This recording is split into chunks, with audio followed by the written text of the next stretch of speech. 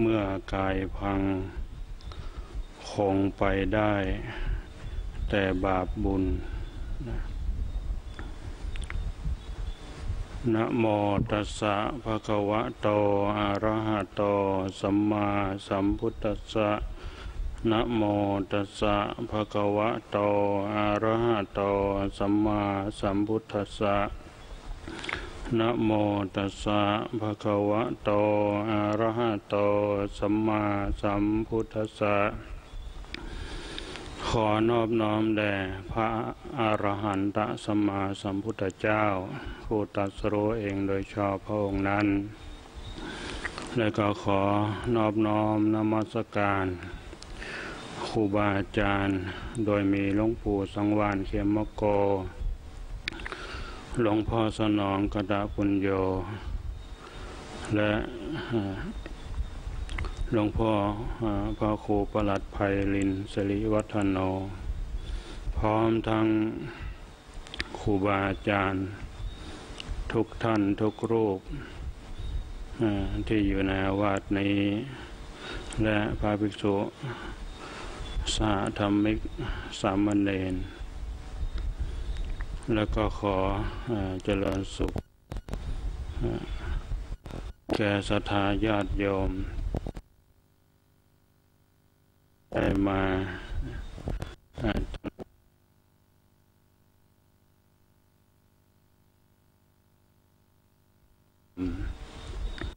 เรื่องในเทศกาลสัปดาห์การประชุมพระ กลางพรรษา แล้วก็ยังเป็นช่วงที่เป็นวาระครบรอบ การละสังขาร ของหลวงพ่อสนองกตะปุญโยครบรอบวาระห้าปี จะครบห้าปีไม่กี่วันนี้ก็ เมื่อเราได้นึกระลึกถึงย้อนไป ก็เป็นที่น่าใจหายเรื่งครูบาอาจารย์ของเรา ซึ่งได้เป็นบุคคลที่มีคุณค่ายิ่ง แก่หมู่สิทธิ์ทั้งหลาย ทั้งฝ่ายบรรพชิตก็ดี ฝ่าย ข้าลือหัดก็ดี เรียกว่าเป็นผู้นำดวงวิญญาณ อย่างแท้จริง จากคนที่ไม่ได้รู้เรื่อง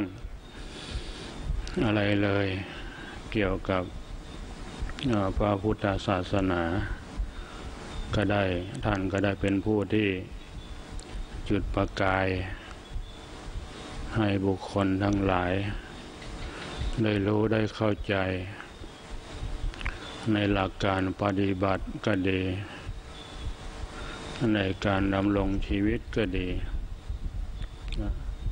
ก็เป็นที่น่าเสียดายยิ่ง แต่ก็เป็นสิ่งที่ทุกคนก็ไม่อาจที่จะหลีกพ้นไปได้ ในเรื่องความเกิดแก่เจ็บตายนี้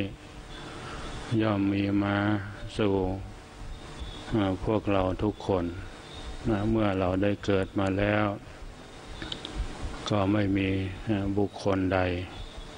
ที่จะล่วงพ้นข้ามไปได้ แม้แต่พระพุทธองค์ ท่านก็เมื่อท่านได้ จุติได้เกิดมาแล้ว สุดท้ายนั่นก็ต้องมีการดับขันสู่ปรินิพานไม่เหมือนกันทีนี้หลักสำคัญก็คือการที่เราต้องมีชีวิตอยู่ ทุกวันนี้ จะทำอย่างไร ในการนำลงชีวิตอยู่ของเรา ให้มาให้เกิดความทุกข์ ความเศร้าหมองใจเข้ามาครอบงำได้ เบื้องต้นพระพุทธองค์ก็ได้ทรงวางหลักศีลไว้ให้แก่ศรัทธาญาติโยม แก่พุทธศาสนิกชน อันมีศีลห้าเป็นเบื้องต้นศีลห้าก็ดีศีลอุโบสถศีลแปดก็ดีศีลสิบก็ดี สุดท้ายรวมถึงศีลสองร้อยยี่สิบเจ็ดก็ดีนะก็เป็นเครื่องรักษาใจของบุคคลทั้งหลาย ไม่ให้เกิดความทุกข์ เมื่อเรามีศีลนะ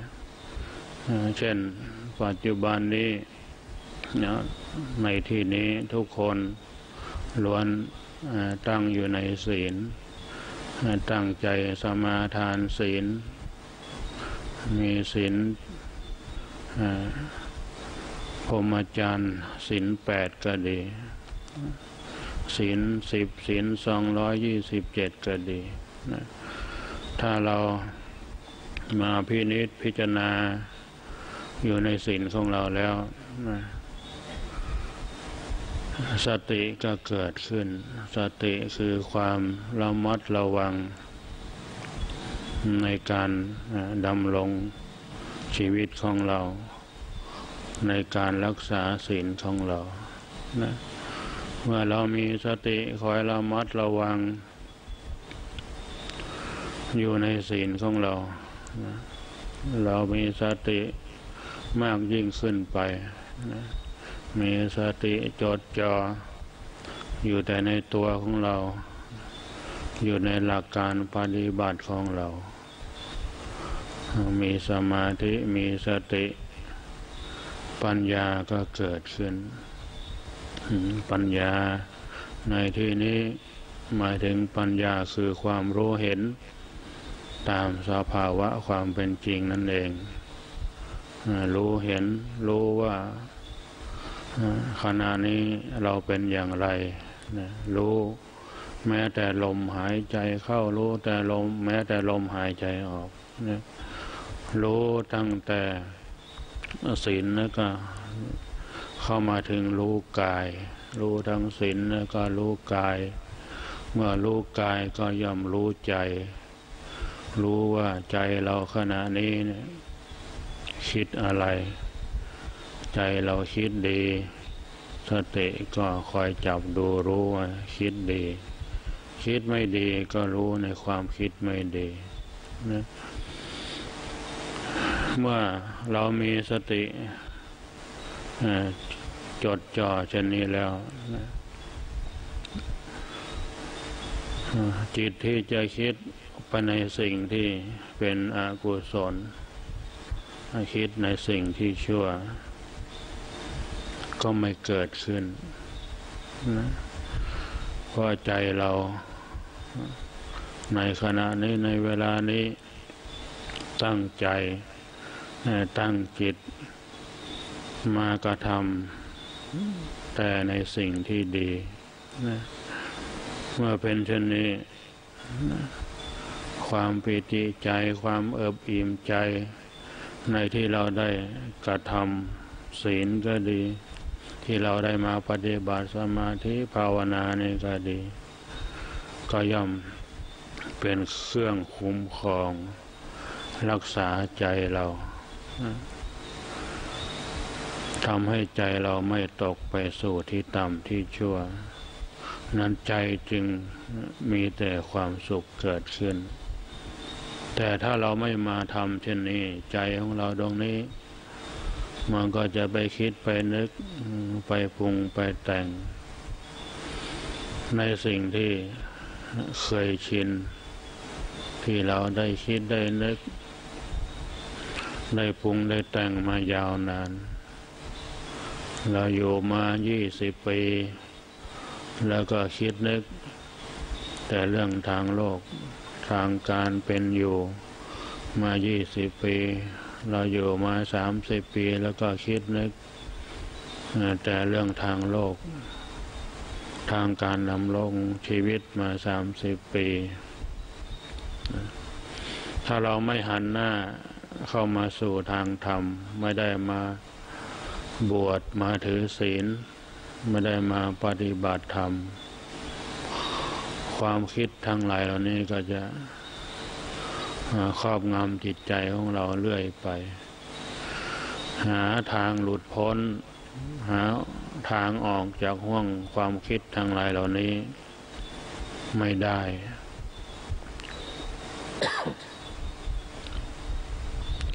เพราะฉะนั้นการที่เรา ได้มาถือศีลการที่เราได้มาปฏิบัติธรรม ในวาระต่างๆ ย่อมเป็นประโยชน์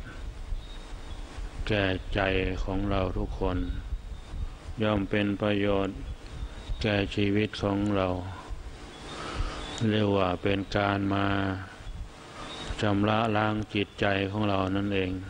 การที่เราได้มาประพฤติปฏิบัตินี้ นะแต่การชำระล้างจิตใจของเรานี้ จะให้สะอาดได้ ต้องอาศัยสิ่งประกอบหลาย ๆ อย่างนะเบื้องต้นก็ต้องมีความเพียรนะมีความพยายาม มีความอดทน เป็นเครื่องชำระล้างนะเพราะว่าใจของเรานี้ ได้สะสมอารมณ์ต่างๆมามากมาย เราจะให้ใจของเรานี่ผุดพอง สะอาดปราศจากมลทินอันมีความโลภความโกรธความหลง ภายในวันเดียว ครั้งเดียว ครั้งสองครั้งเป็นไปไม่ได้เลย ต้องอาศัย ความเพียรความอดทน อย่างยิ่งยวด ดังที่พุทธองค์ได้ทรงตัดไว้ว่า วิริเยทุกขมะเจตินะเราจะล่วงพ้นทุกได้ ต้องอาศัยความเพียรนะเพียรแล้วก็เพียรอีก เราเคยมาปฏิบัติครั้งหนึ่งก็รู้มานิดหนึ่ง นะเรามาปฏิบัติมาปฏิบัติครั้งหนึ่งสองครั้งก็รู้เพิ่มขึ้นมาเรื่อยๆนะมีความรู้มีความเห็น มีสติปัญญา รู้ในการวางอารมณ์ขึ้นไปเรื่อยๆ จากด้วยการที่เราได้รู้ได้เห็น ได้ยินได้ฟัง จากการที่ครูบาอาจารย์ต่างๆ ได้มาชี้แนะ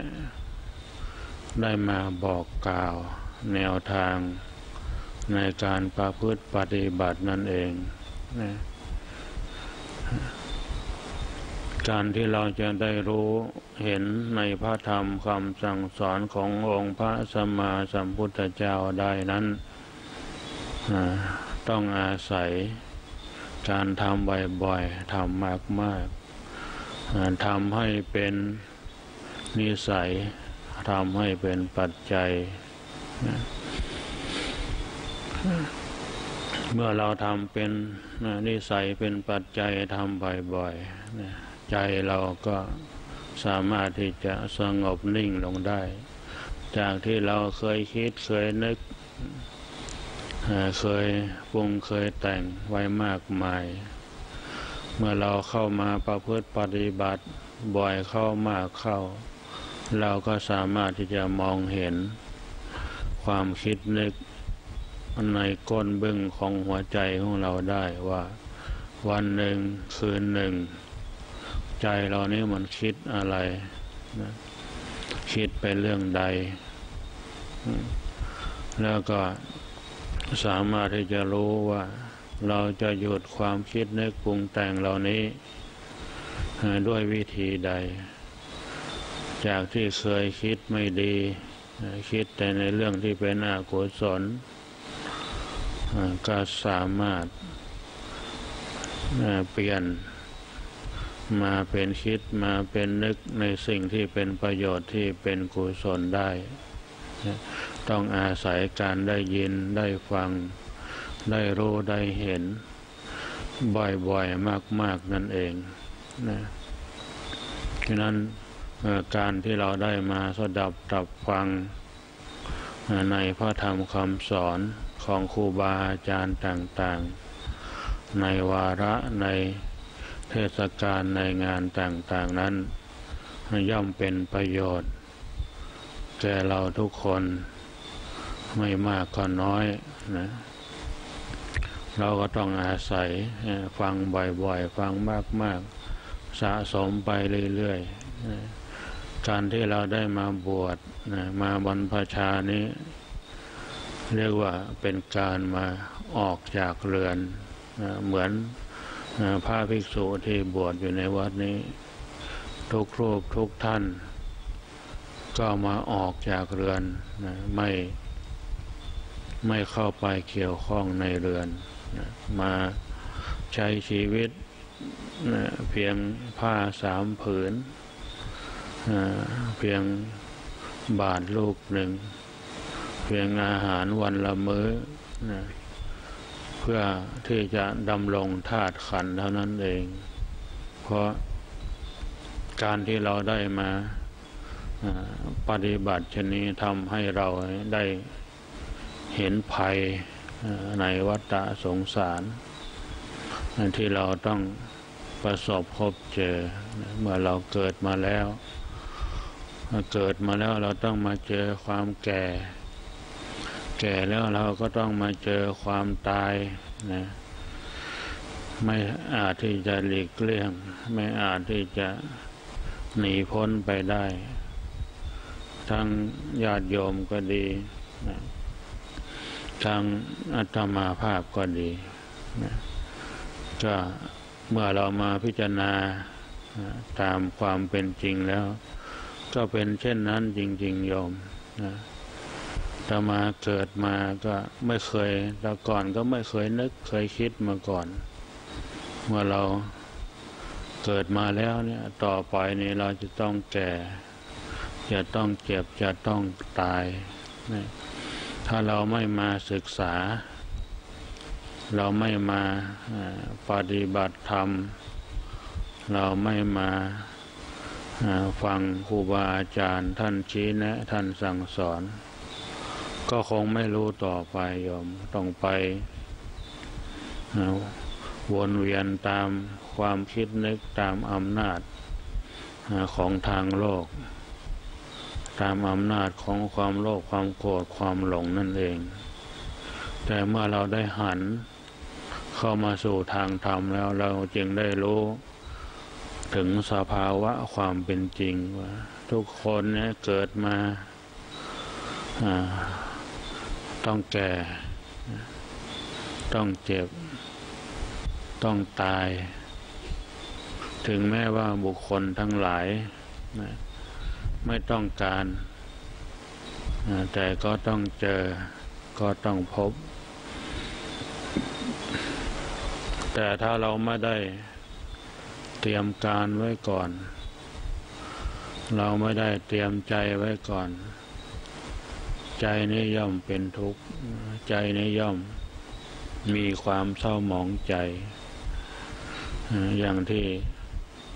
จะมาบอก เมื่อถ้าเราไม่มาศึกษาเนี่ยเราจะไม่รู้เลยเราจะไม่เข้าใจเลย ว่าความเกิดความแก่ความตายเนี่ย เกิดขึ้นกับตัวเราจริงนะแม้แต่ครูบาอาจารย์ของเราเนี่ยซึ่งเราเคยพบเคยเห็นเคยเจอท่านเป็นประจำเคยได้รับฟังคำชี้แนะคำว่ากล่าว คำตักเตือนคำสั่งสอน เมื่อถึงการเวลา ท่านก็ต้องมาจากพวกเราไป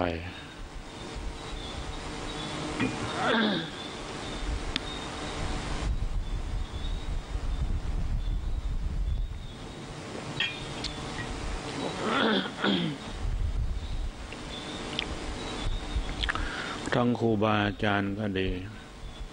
ทั้งบุคคล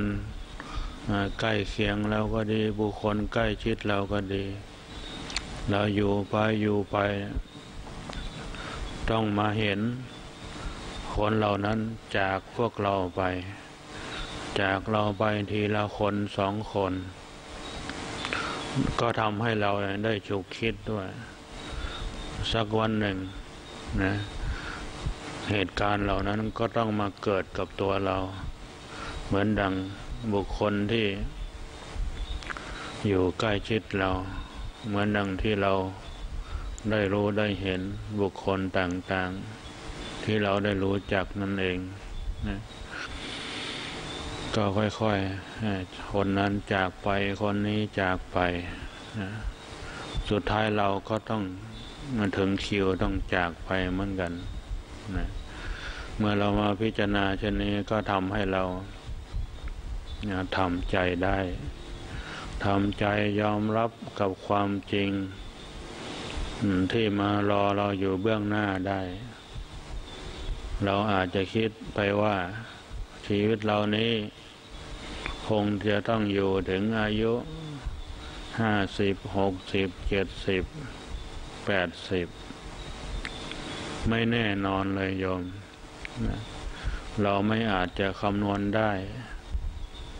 แม้แต่วันพรุ่งนี้เนี่ยทุกคนก็ไม่มีใคร ที่จะยืนยันได้ร้อยเปอร์เซนว่า เราจะต้องอยู่ให้ถึงได้ เพราะอะไรเลยพอแท้ที่จริงแล้วความตายพญามัจจุราชเนี่ยมารอเราเบื้องหน้านี่เองมามารอเราแค่ปลายจมูกเองโยมนะ รอยังไง เพียงแค่เราหายใจเข้าเนี่ยไม่หายใจออกตายโยมอยู่ไม่ได้ตายโยมก็ตายธรรมาก็ตายหรือเราหายใจออกแล้วไม่หายใจเข้า ทุกคนก็ตายเหมือนกันนะไม่มีใครอยู่ได้โดยไม่อาศัยลมได้เลย ทุกคนนี่ มีธาตุสี่มีธาตุดินน้ำไฟลมเหมือนกัน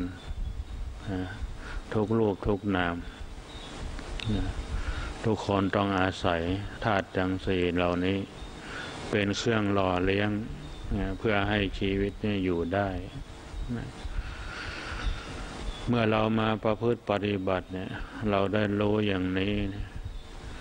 ทำให้เราเนี่ยเกิดสติปัญญา ทำให้ปล่อยวางไว้ได้หลายอย่างโยมเมื่อเรามาพิจารณาดูจากที่เราไม่เคยไม่เคยที่จะละได้เลยความโกรธก็ทำให้ความโกรธเบาลงได้ เพียงแค่เรามาพิจารณาเห็นตามความเป็นจริงเท่านั้นเอง มาพิจารณาเห็นถึงความไม่เที่ยงแท้ไม่แน่นอน ที่ครูบาอาจารย์ได้สั่งสอนไว้เนี่ยความโกรธที่เคยมีมาเต็มหัวใจเราเนี่ยก็สามารถลดน้อยถอยไปได้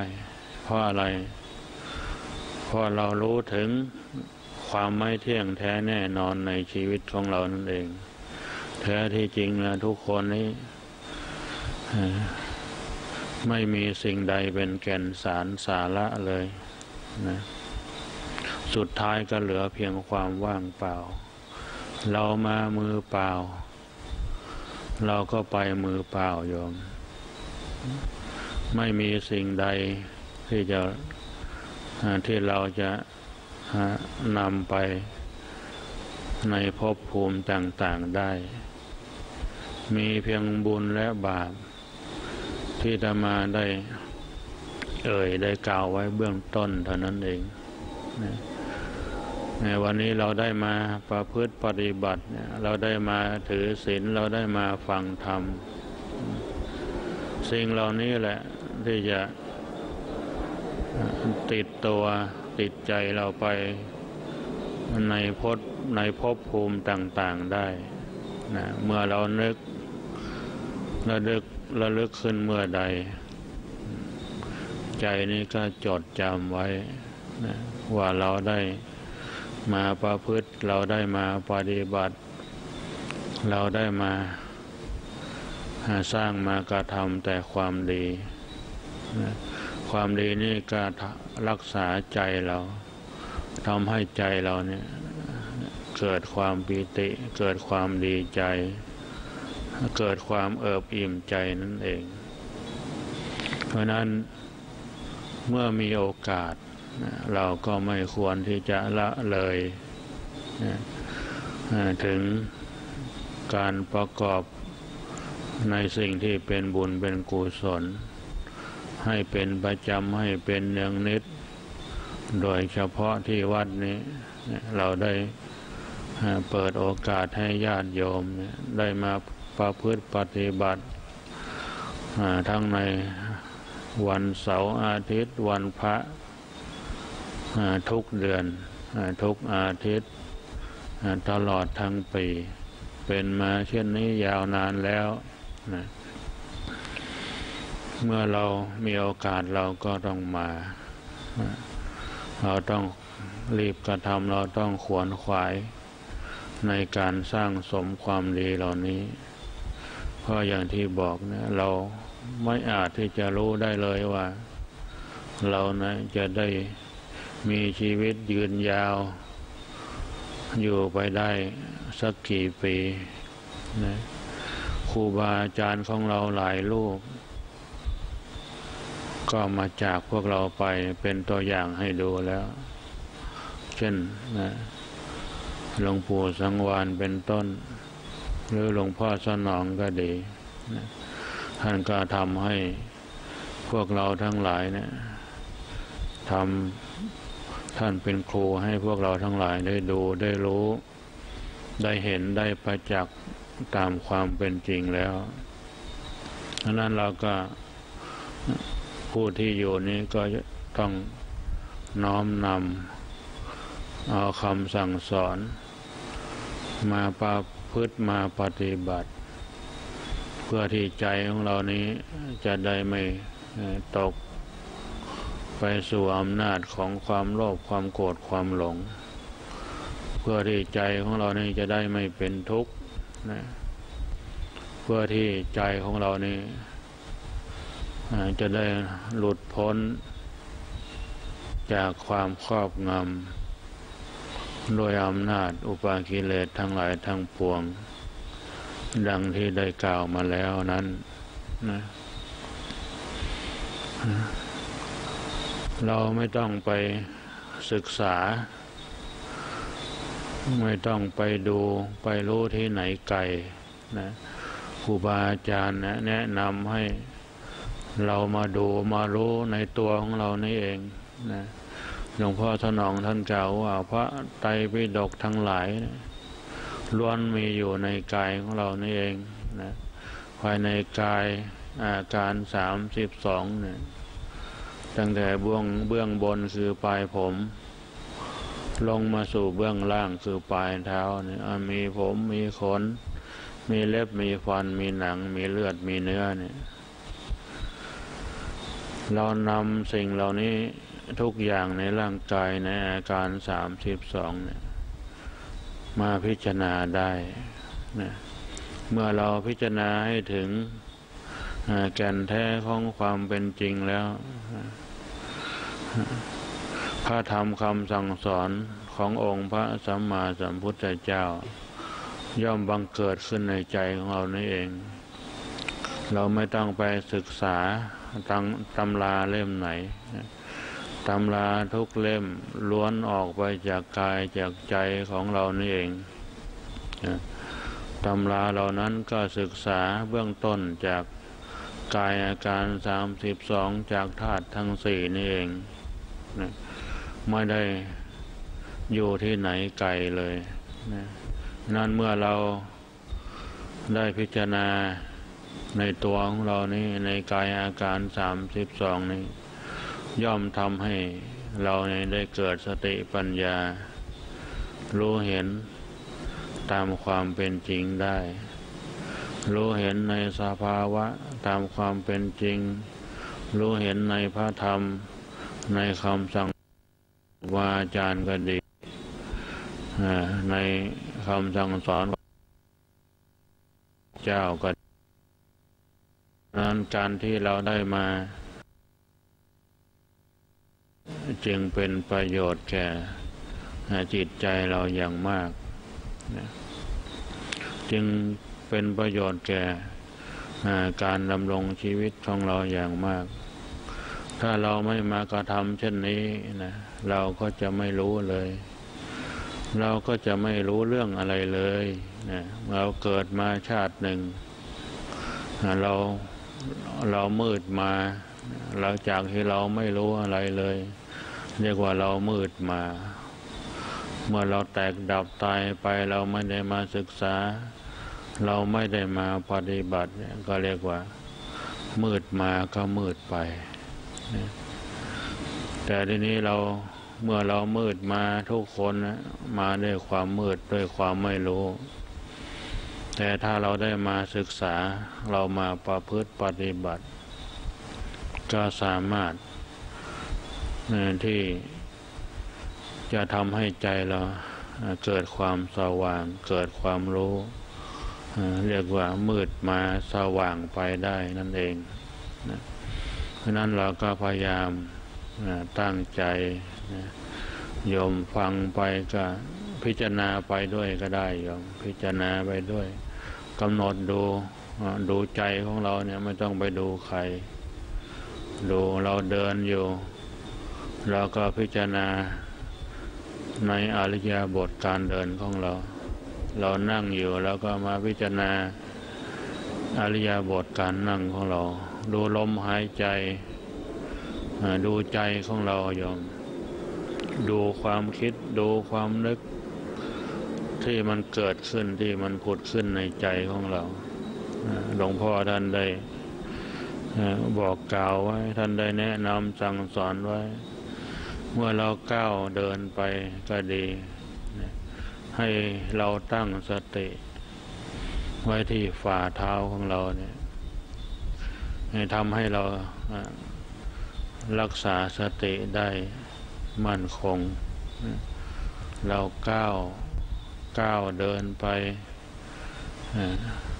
เราจะกำหนดขวาย่างพุทธซ้ายย่างโทก็ดี เราจะพิจารณาการก้าวเดินของเรา ว่าเท้าเราก้าวขึ้นเท้าเรายกขึ้น เท้าเราก้าวไป เท้าเราแตะลง ทั้งเท้าซ้ายทั้งเท้าขวาก็ดี เมื่อเรามากำหนดดูเช่นนี้ ตามที่ครูบาอาจารย์ได้แนะนำสั่งสอนไว้ สติก็เกิดขึ้นนะ สติก็ย่อมเกิดขึ้น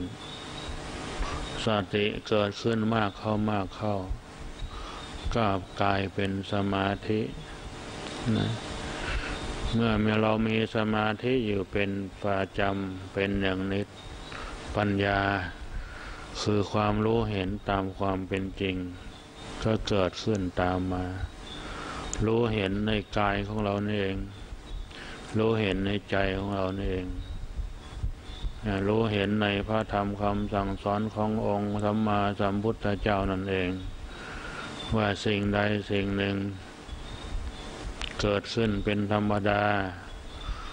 สิ่งเหล่านั้นทั้งปวงก็ย่อมมีความเสื่อม ความดับไปเป็นธรรมดา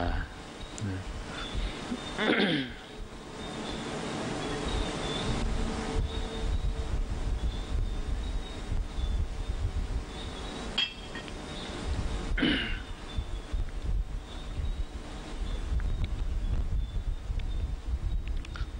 าก็พยายามนะมาพิจารณา ตามความถนัดของเรา เราถนัดในการพิจารณา ดูลมหายใจ เราก็กำหนดดูลมหายใจของเราเรื่อยไปนะหรือเราจะถนัด ในการพิจารณากายอาการสามสิบสองก็ให้เราเนี่ยกำหนดดูกายอาการสามสิบสองของเราเนี่ย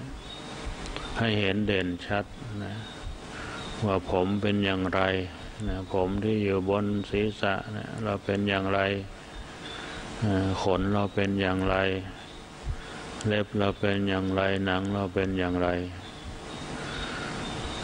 สิ่งเหล่านี้เมื่อมีความเกิดขึ้น ก็มีความแปรปวนมีความเปลี่ยนแปลงไป เป็นธรรมดาแต่สิ่งทั้งหลายทั้งปวงเหล่านี้ เมื่อมีความแปรปวนเปลี่ยนแปลงไป แล้วยัง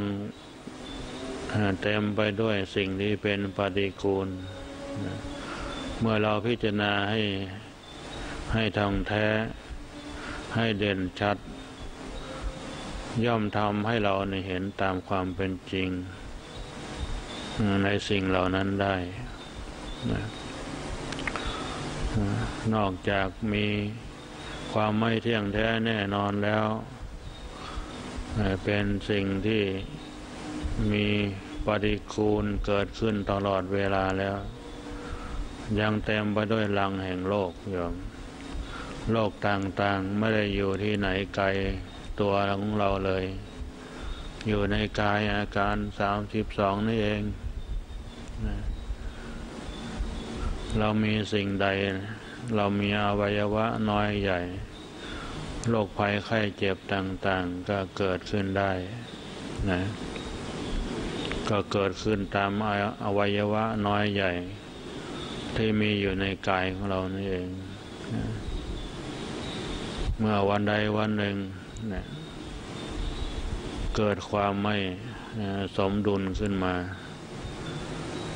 เกิดความไม่สมดุลในธาตุทั้งสี่อันมีธาตุดินน้ำไฟลม ก็เกิดความเจ็บป่วย เกิดโรคภัยไข้เจ็บขึ้นมาเป็นเหมือนกันทุกรูปทุกนาม เป็นเช่นนี้ ทุกคนไม่อาจจะหลีกเลี่ยงได้ถึงแม้ว่า เราจะมาพิจารณาเช่นนี้ เป็นสิ่งที่ไม่เพลิดเพลิน ไม่สนุกสนานเหมือนการทำอย่างอื่น การพิจารณาอย่างอื่น แต่ทุกคนก็ต้องเจอโยม ทุกคนไม่อาจจะหลีกหนีพ้นไปจากกฎของธรรมชาติเหล่านี้ได้ ถึงแม้ว่าเราจะไม่อยากพบอยากเจอก็ตาม สักวันหนึ่ง เราก็ต้องประสบพบเจอ ในความแก่ความเจ็บความตาย ในสิ่งที่คนไม่อยากได้นะ ต้องเจอเหมือนกัน ทุกรูปทุกนาม แม้แต่อาตมาก็เจอนะยมตั้งแต่เกิดมานะยังไม่มียังไม่เคยแก่เท่ากับวันนี้เลยยอมไม่เคยนึกเลยว่า จะต้องต้องแก่วันนี้นะแก่ที่สุดละยอมตั้งแต่เกิดมายมเคยนึกเคยคิดตั้งไหมนะพูดธรรมะนี่ พาง่วงนอนนะโยมนะคอยทยอยลุกไปเรื่อยนะมันไม่เพลิดเพลินนะพูดเรื่องความจริงเนี่ยความเกิดความแก่ความตายพาง่วงนอนนะฟังได้แป๊บเดียวยมก็ง่วงแล้วอยากจะนอนตมาในฟังหลวงพ่อมา หลวงพ่อไม่อยู่ก็ยังต้องฟังอยู่ ฟังมาร่วมสามสิบปีแล้วยมไว้ง่วงของทนเอาวันนี้จะมากว่าจะได้มาถึงนี่ต้องใช้เวลาเดินทาง จากต่างจังหวัดโยม จากจังหวัดเชียงใหม่มา ตั้งแต่หกโมงเช้ากว่าจะมาถึงที่นี่ได้ก็ปาเข้าไป สี่โมงเย็นเกือบห้าโมงนะแล้วก็มานั่งพูดนั่งบ่นให้โยมฟังนะโยมฟังแล้ว ยังเกิดความง่วงนอนอีกเดี๋ยวจะมาก็จะง่วงเหมือนกันอย่าพอนั่งรถมายาวไกล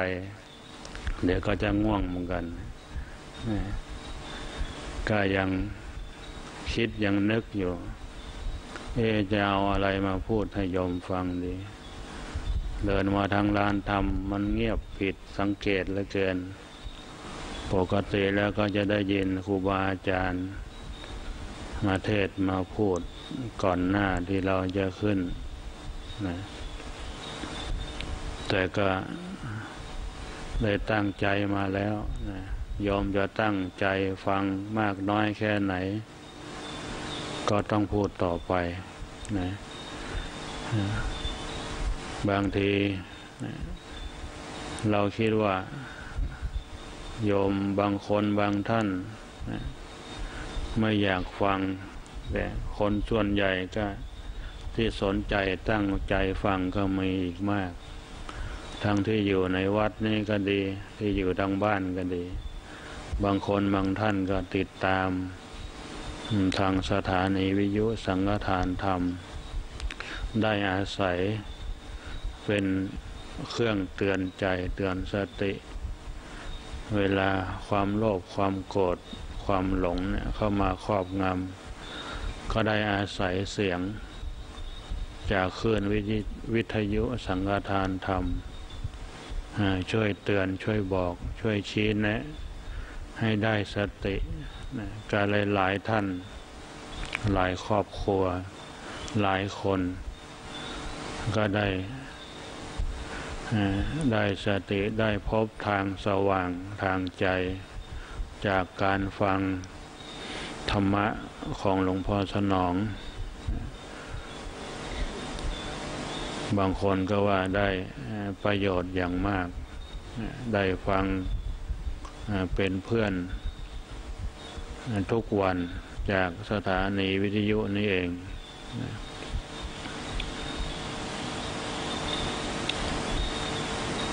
เพราะนั้นเราก็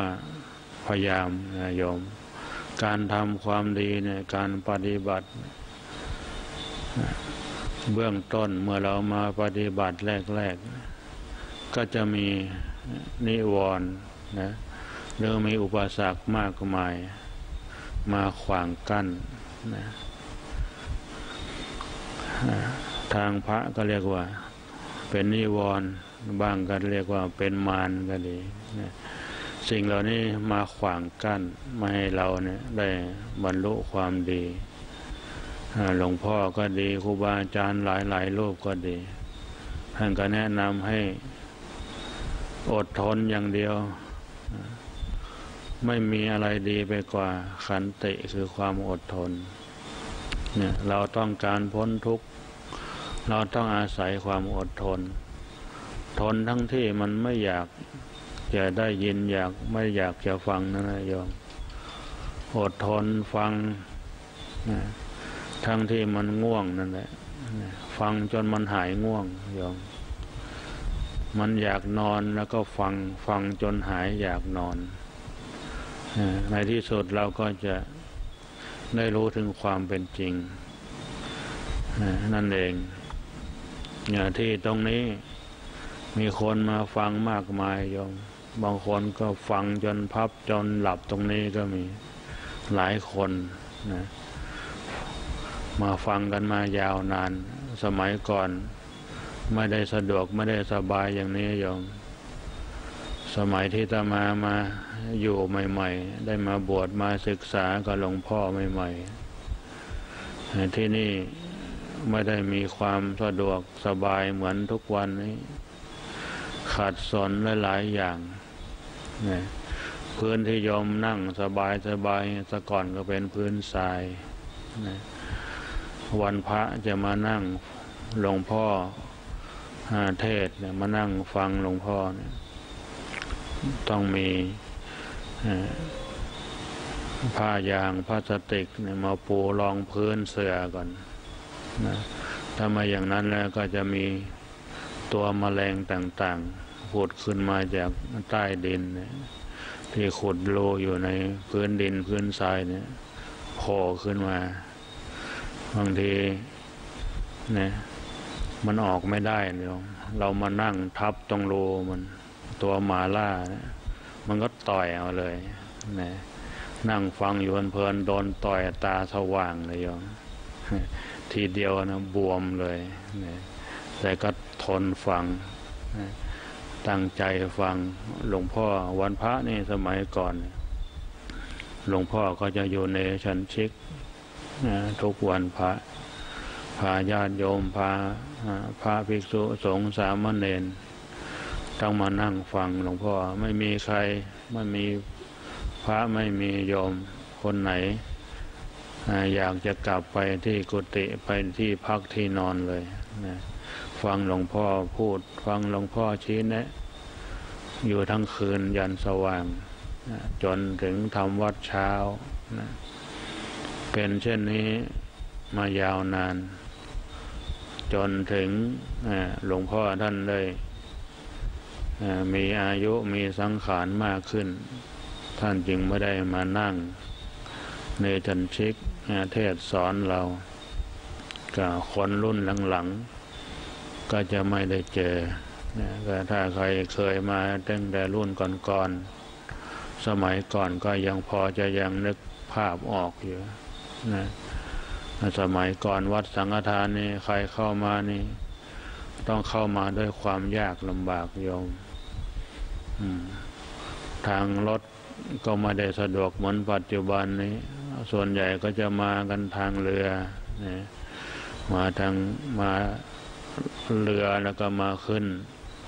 ที่ท่าวัดเขียนแล้วก็เดินมาเป็นส่วนใหญ่ เพราะว่าทางรถมันมาลำบากนะต้องเข้าทางโน้นทางจะเข้ามาสู่วัดสังฆทานเนี่ยต้องไปผ่าน ทางวัดโคนอน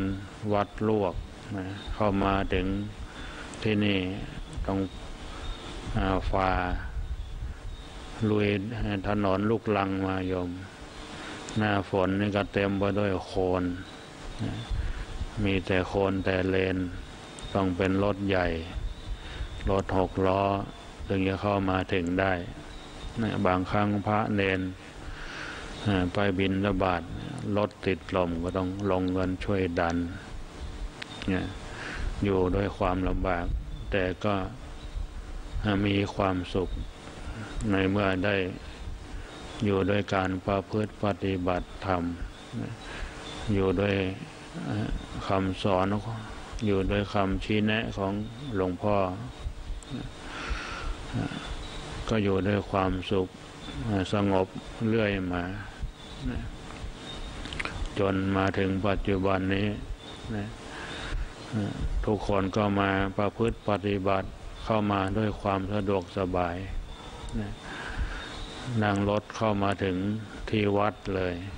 นะตอนนี้ก็มีอุปสรรคเพียงแต่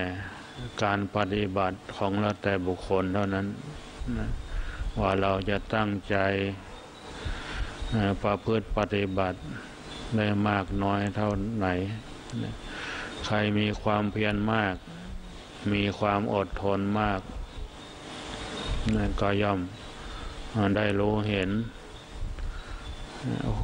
ตามความเป็นจริงมากขึ้น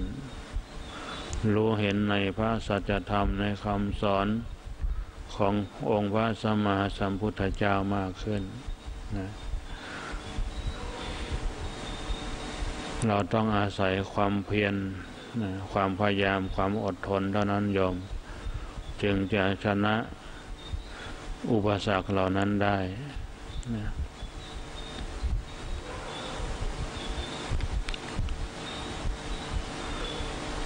สถานที่นี้เป็นสถานที่เหมาะอย่างยิ่ง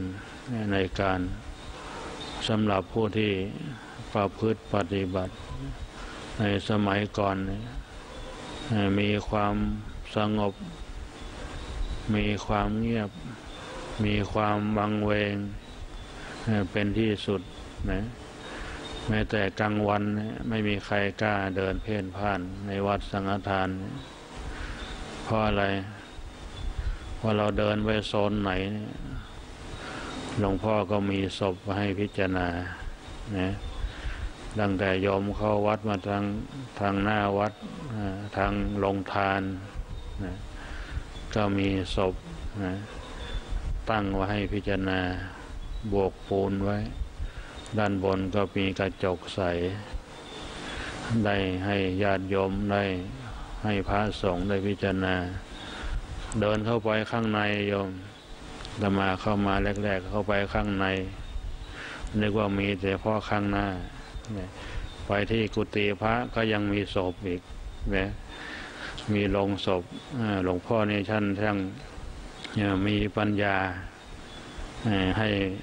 ลูกศิษย์ลูกหาให้พวกเราเนี่ยได้พิจารณาความตายดีเหลือเกินนะใครเข้ามาบวชแรกๆเนี่ยเข้าไปอยู่ข้างในก็เรียกศาลาในขมมะโยมใต้ถุนศาลาเต็มไปด้วยลงศพโยม ทั้งศพใหม่ก็ดีศพเก่าก็ดี วันดีคืนดี ก็มีกลิ่นโชยมาให้พิจารณาถึงที่นอนโยมก็ทำให้เกิดความวิเวก โดยอัตโนมัติพอเช้าขึ้นมาตีสามเนี่ยไม่มีใครอยากนอนต่อยอม ได้ยินเสียงะระฆังก็ต้องตื่น พอถ้าเราไม่ตื่นเรานอนต่อ เราก็เราก็นอนอยู่กับศพ พอข้างล่างใต้ถุน มีศพอยู่เยอะแยะเลยนะมาในศาลานะสมัยก่อนไม่มีโบสถ์แก้วเนี่ยเป็นศาลาไม้ศาลาหลวงพ่อโตมุงด้วยสังกะสีรอบหลวงพ่อโตก็มีโครงกระดูกอีกนะโครงกระดูก ที่ญาโยมได้อุทิศถวาย ไว้ก็ให้กระทางวัด หลวงพ่อก็ได้ให้ทางโรงพยาบาลเลยเลาะเอาเนื้อเอาส่วนต่างๆออก เหลือเพียง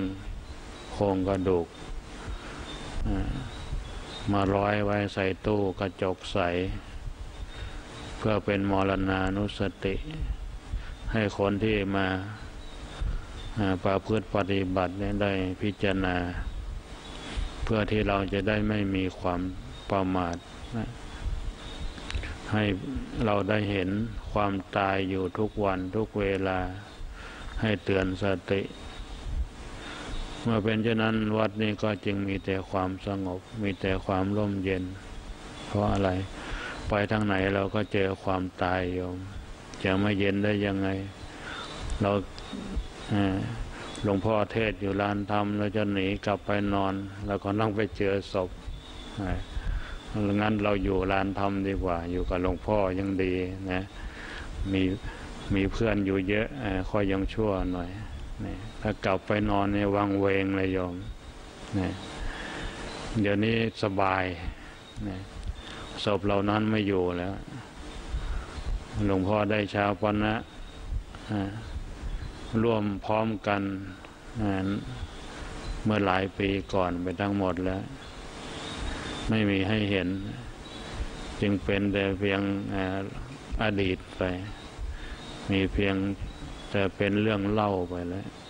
นะบรรยากาศเหล่านั้นก็ค่อยจางคายหายไปจากวัดสังฆทานทีละน้อย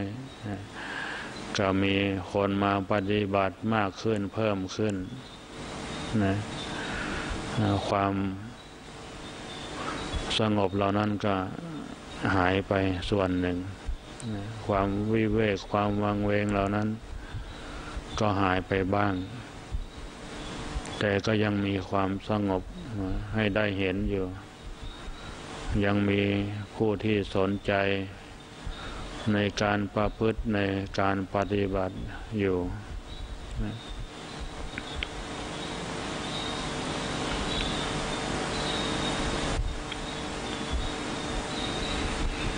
เราได้มาตั้งใจ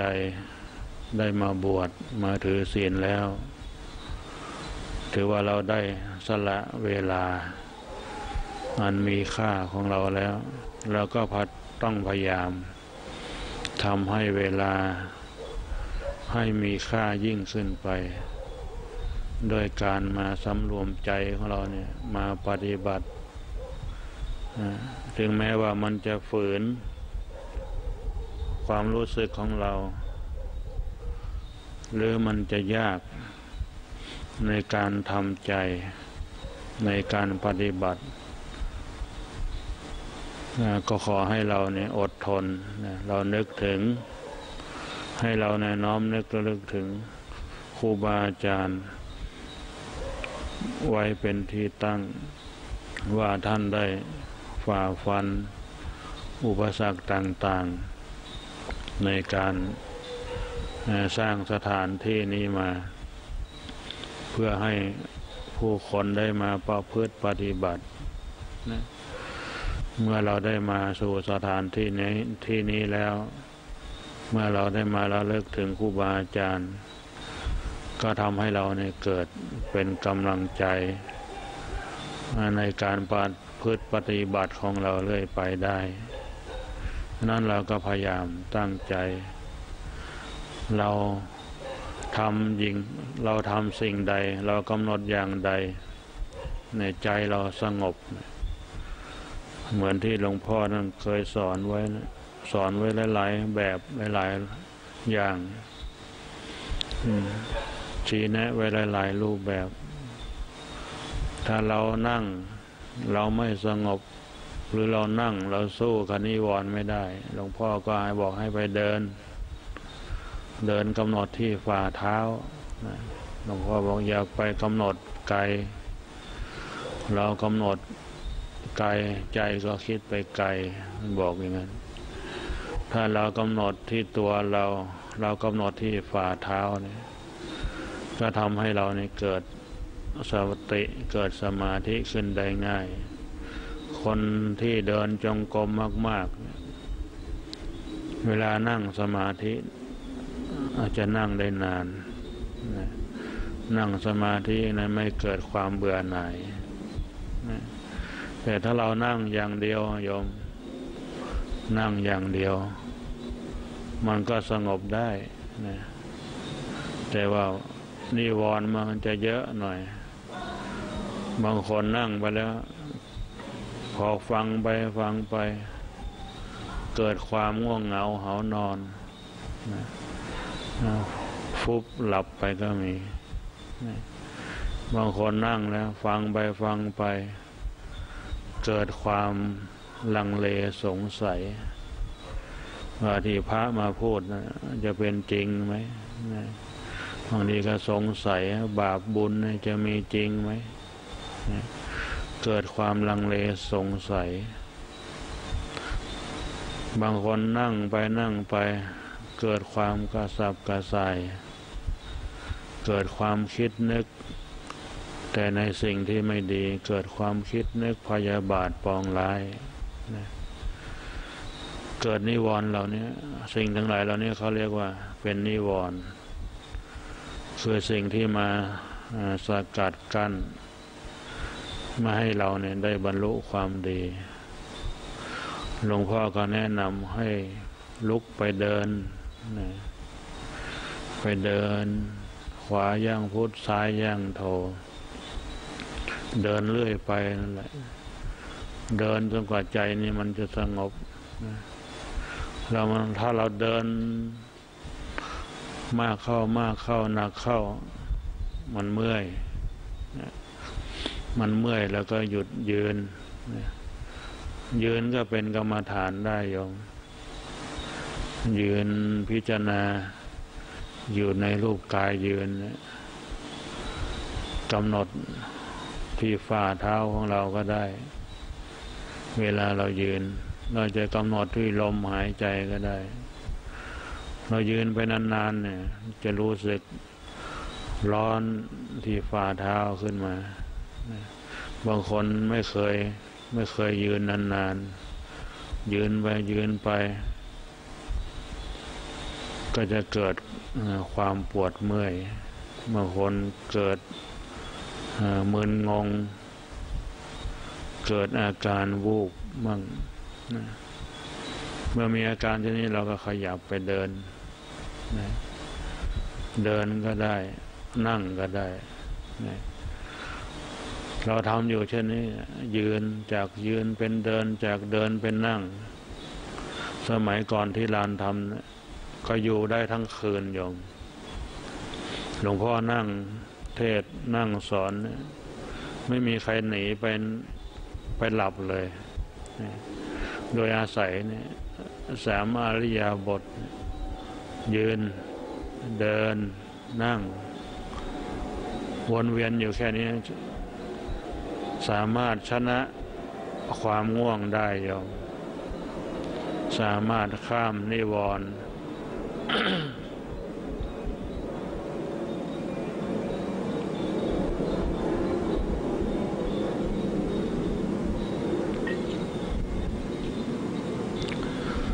สามารถที่จะข้ามนิวรณ์ไป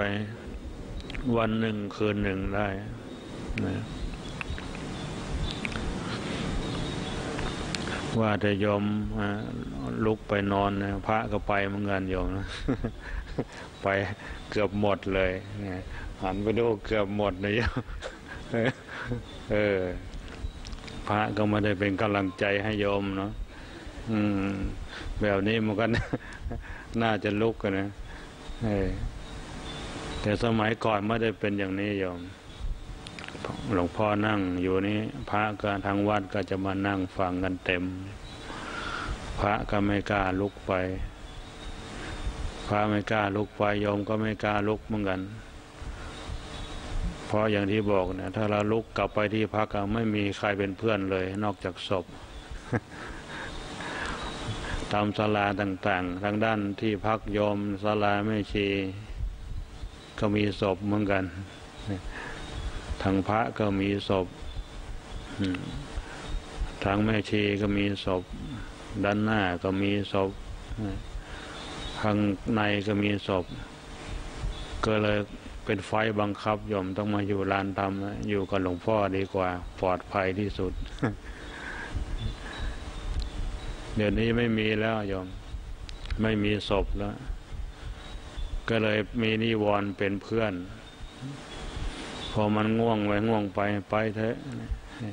ใจหนึ่งก็ไปเถอะลุกเถอะ ไปหลับเถอะ ฟังก็ไม่รู้เรื่อง ยิ่งฟังยิ่งง่วง ยิ่งฟังยิ่งงงยอมวนเวียนอยู่แต่ความแก่ความเจ็บความตายเนี่ย ฟังหนักเข้าหนักเข้า ชักเริ่มลำคาญจนสุดท้ายสู้ สู้เพื่อนคืนนี้วอนไม่ไหว ไปก็ไป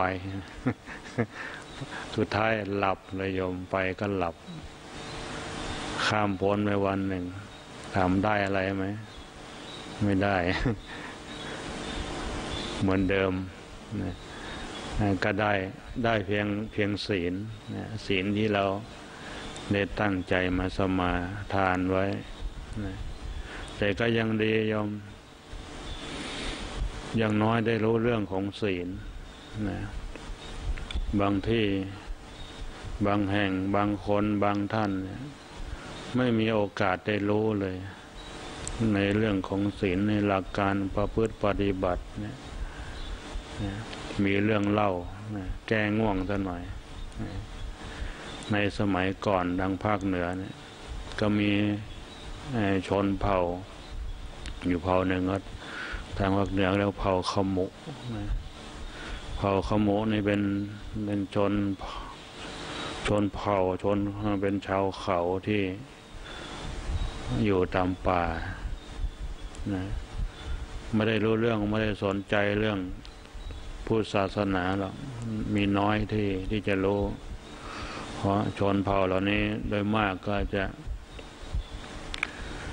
นับถือเรื่องผีสางนางไม้เป็นหลักนะเรียกว่าเหมือนกับศาสนาเขาเลยนะก็มีชายขมุอยู่คนหนึ่ง ก็เป็นคนรับจ้าง อยู่ใกล้แม่น้ำก็รับจ้างพายเรือ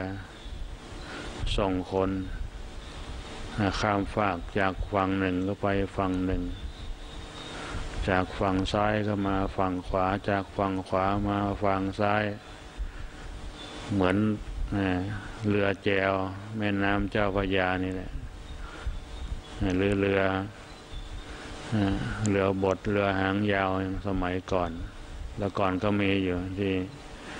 ที่แถววัดเขียน รับจ้างส่งคนข้ามฝาก เพราะว่าสะพานมีน้อย ต้องเดินทางไปไกล ถึงจะข้ามสะพานได้ ก็รับจ้างส่งคนข้ามฝาก จากฝั่งวัดเขียนไปส่งฝั่งนน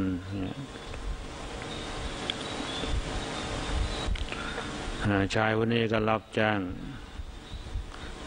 รับจ้างส่งคนข้ามไปก็ข้ามมาอยู่ จนนานวัน ได้มาเจอพระธุดงค์พระธุดงค์นั้นก็เที่ยว สมัยก่อนในภาคเหนือนี่เป็นเป็นสถานที่ที่ดี เป็นบรรยากาศที่เหมาะสำหรับการแสวงหาความสงบในการทุดงนะสมัยยุคหลวงปู่มั่นเนี่ยจึงมีพระทางภาคอีสานเนี่ย มาทุดงมาหาที่ประพฤติปฏิบัติในภาคเหนือมากพระทุดงก็จะก็ไปก็จะไปอยู่เรื่อยๆไปอยู่พำนักอยู่ดังที่ต่างๆกับพระทุดงก็จะ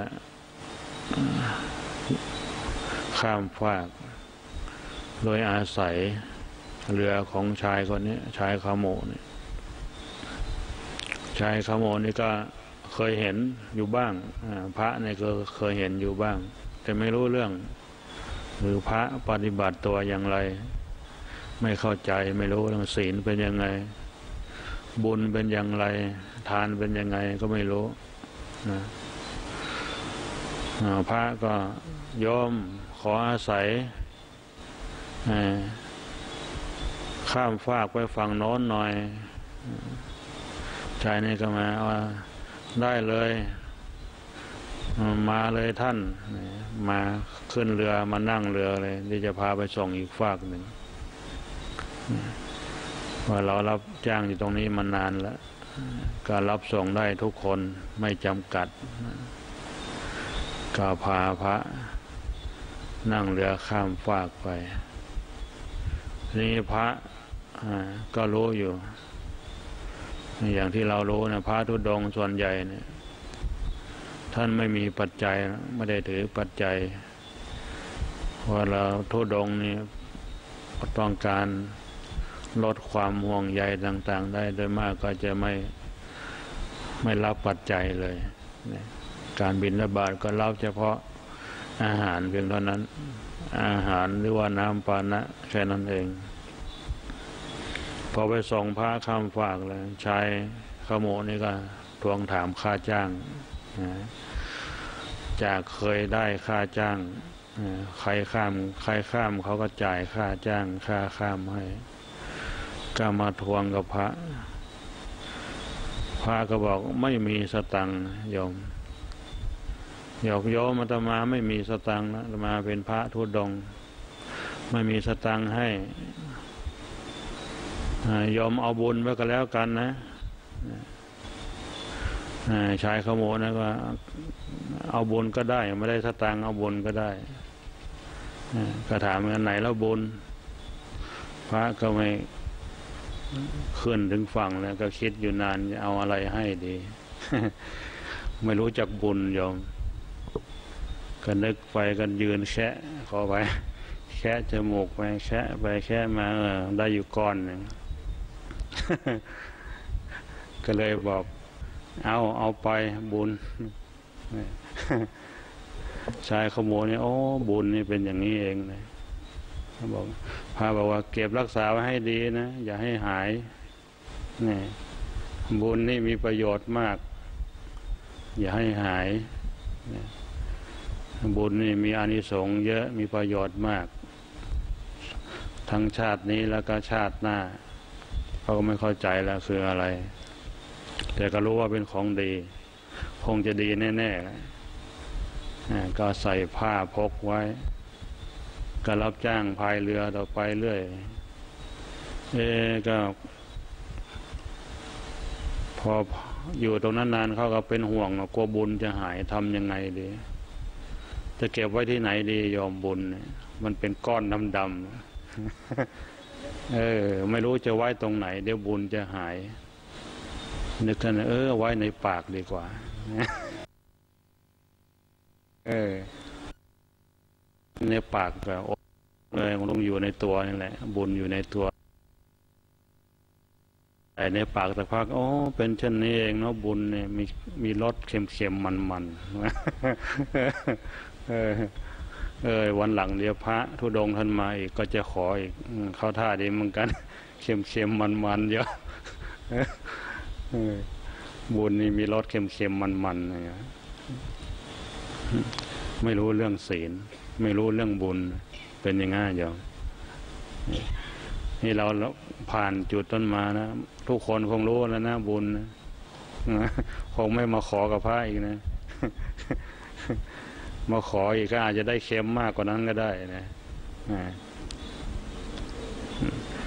ได้มาบวชมาถือศีลนะคงรู้แล้วเรื่องบุญเป็นยังไงนะ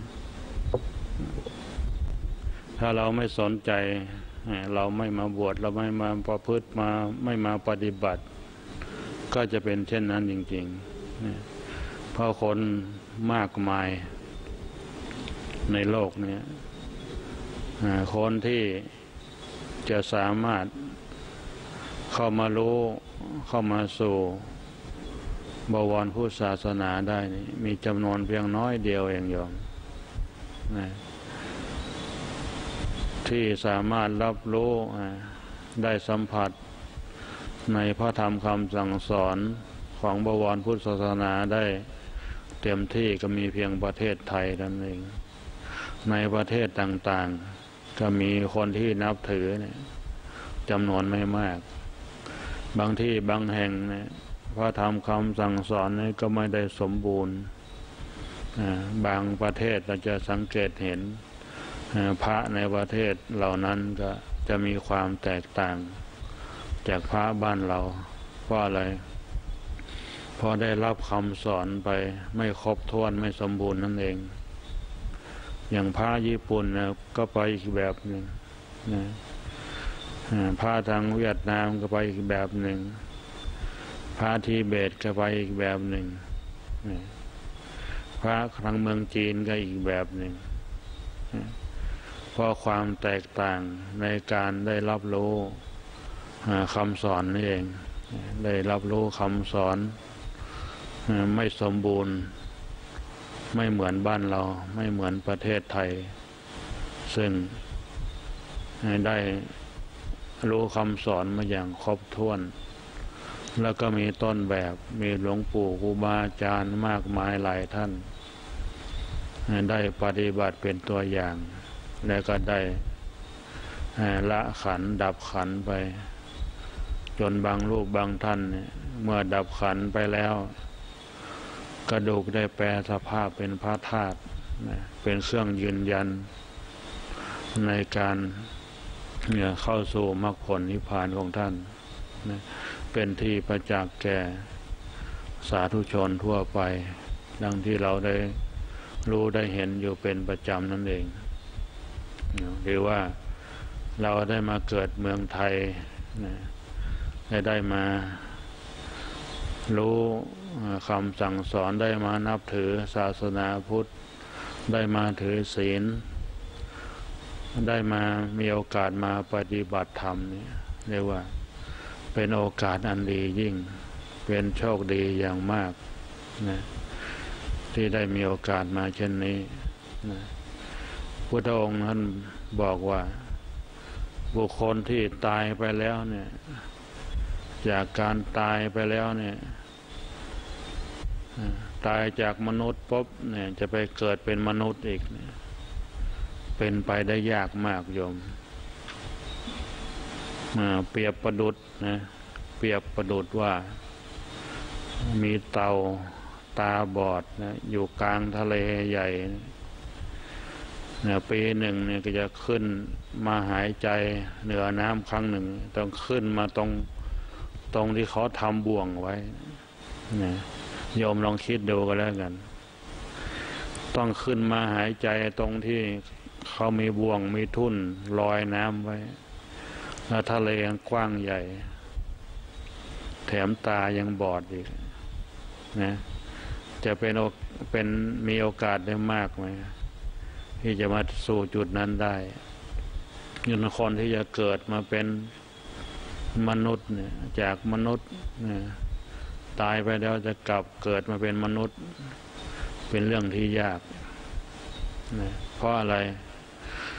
เพราะเราเกิดมาทุกวันผู้คนทำอยู่เป็นประจำสองอย่าง คืออะไรยอมนึกออกไหม ถ้าเราไม่ทำบุญก็ทำบาป เท่านั้นเองนะอย่างนี้ถ้าเราไม่ ไปมาปฏิบัติธรรมเราไม่ไม่มาถือศีลไม่มาฟังธรรมเราไม่มาทางนี้เราก็ไปอีกทางหนึ่งไปแสวงหาสิ่งที่เป็นอกุศลที่เป็นบาป เมื่อเป็นเช่นนี้ ก็จึงเป็นทางให้คนก็ไปเพียงแค่สองทาง ไปทางไหนบ้าง ถ้าเราทำสิ่งที่เป็นอกุศลไว้มาก ในใจก็ไปสู่ที่ต่ำที่ชั่ว ก็ไปเกิดเป็นสัตว์นรก เป็นสัตว์เดรัจฉานเป็นเปรตเป็นอสุรกายไป หรือถ้าเราทำความดี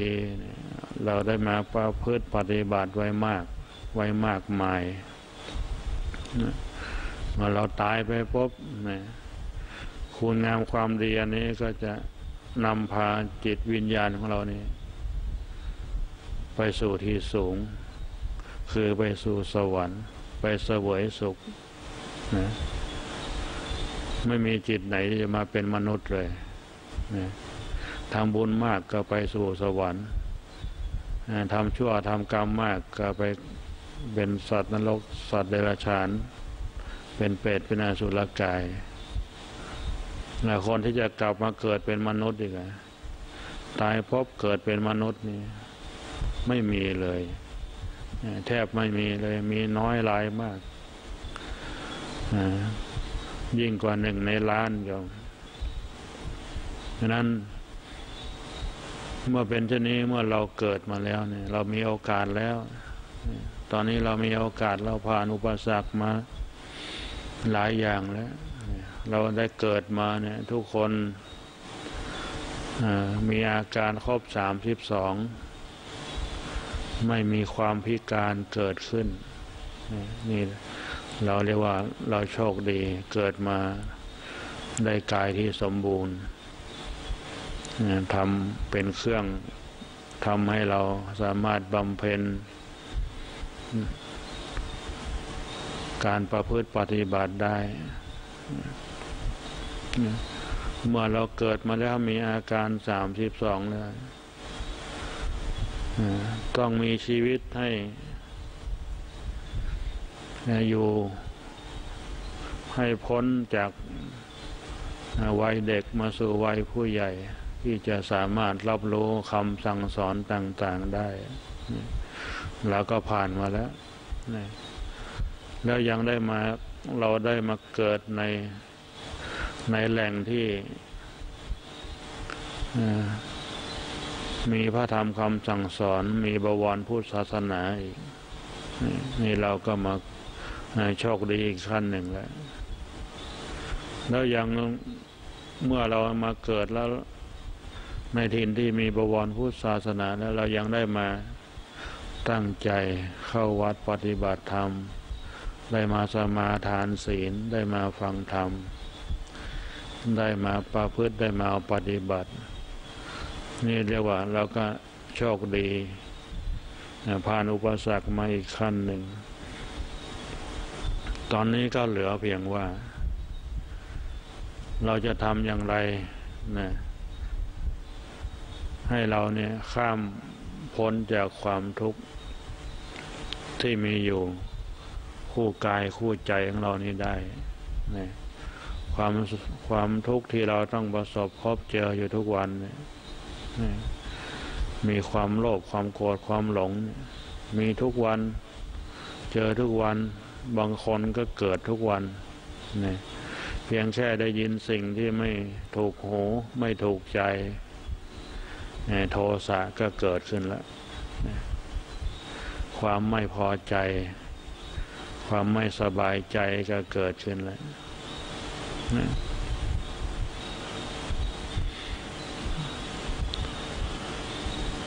เมื่อเราได้มามีโอกาสมาศึกษา มาปฏิบัติเช่นนี้มากเข้ามากเข้าบ่อยเข้าบ่อยเข้าย่อม ทำให้เราเกิดสติปัญญาได้ยมสติปัญญาเนี่ยจะเกิดงอกงามขึ้นได้ ต้องอาศัยความสงบ เราต้องมีความสงบทางใจนะสงบทั้งทางกายทางใจทางกาย บางคนว่าให้พิจารณาเลย ก็เกิดปัญญาได้ ก็ได้เหมือนกันนะได้เฉพาะบางคน แต่ไม่ได้ทุกคน บางคนได้ทำไว้ก่อน มีทุนเก่าอยู่มากแล้ว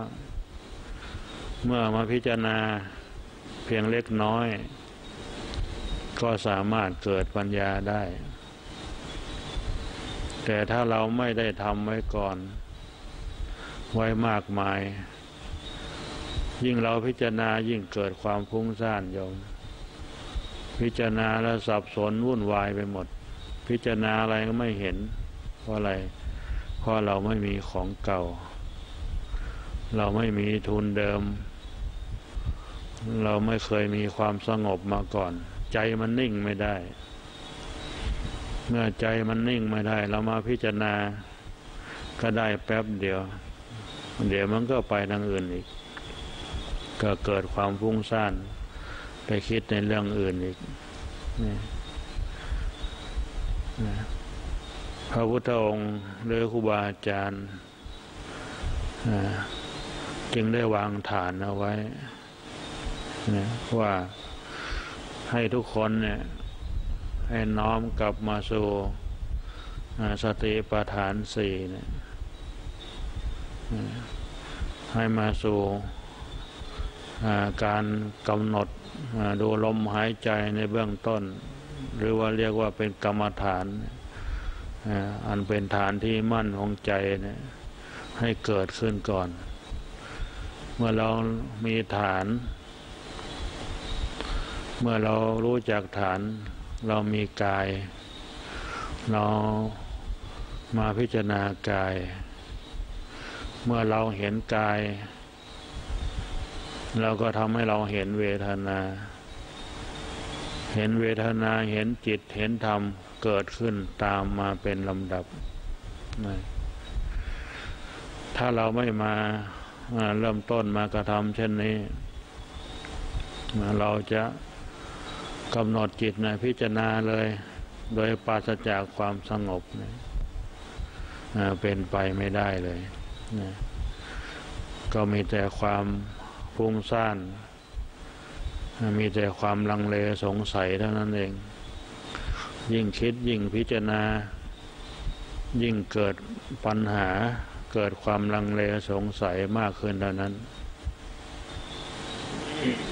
เพ ราะฉะนั้น